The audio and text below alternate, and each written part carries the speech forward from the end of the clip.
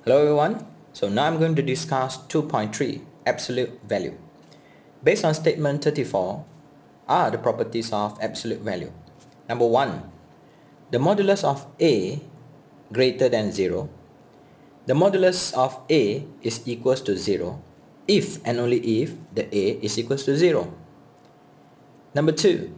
The modulus of negative A is also equals to modulus of A. Number 3.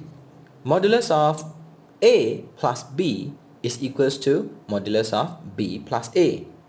As well, A modulus of A minus B is equals to modulus of B minus A. Number 4. Modulus of A multiplied with B is equals to modulus A multiplied with modulus B. Number 5. Modulus of A over B is equals to modulus of A divided by modulus of B, where B cannot be equals to 0. Based on statement 35, there is an important note. The square root of x squared actually is equals to modulus of x.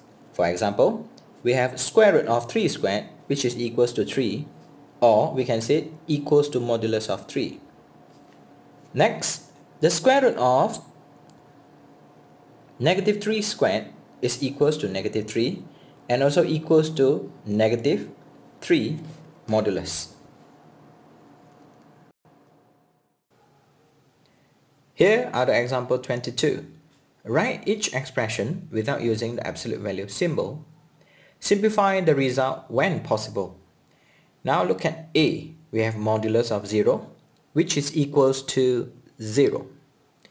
B negative modulus of negative 6 and we will have our answer negative 6. C. Modulus of 2 minus square root of 2. We will have 2 minus square root of 2. D. Modulus of pi minus 3. And we will have our answer pi minus 3. E. Modulus of 3 minus pi and our answer will be pi minus 3.